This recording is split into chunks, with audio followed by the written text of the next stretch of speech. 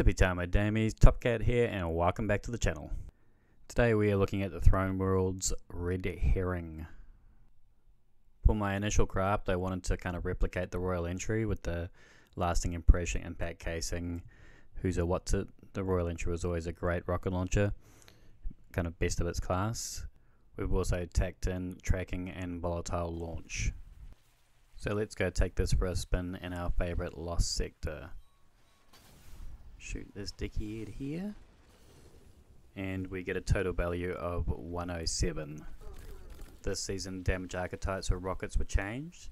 So the royal entry doesn't actually do as much damage as this but I would still take the royal entry over it as the entry only has 4k less damage and it comes with auto loading.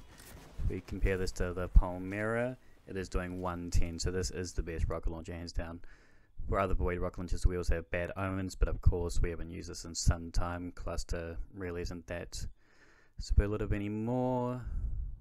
Other options are the tomorrow's answer. I've only really used this in a couple of strikes like Proving Grounds, but that's only because I didn't have a Royal Entry at the time. I would still use this inside of Crucible. So if I'm not going to pick this role over my Royal Entry or Palmyra B, what am I going to do with it? We would just change this utility rockets aren't just for pure DPS phases like Caretaker or Rhulk.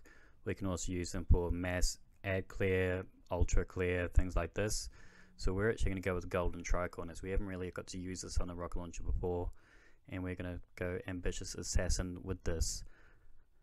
Change Impact Casing to Black Powder. And let's craft this sucker. Tricorn is the highest DPS buff we can get.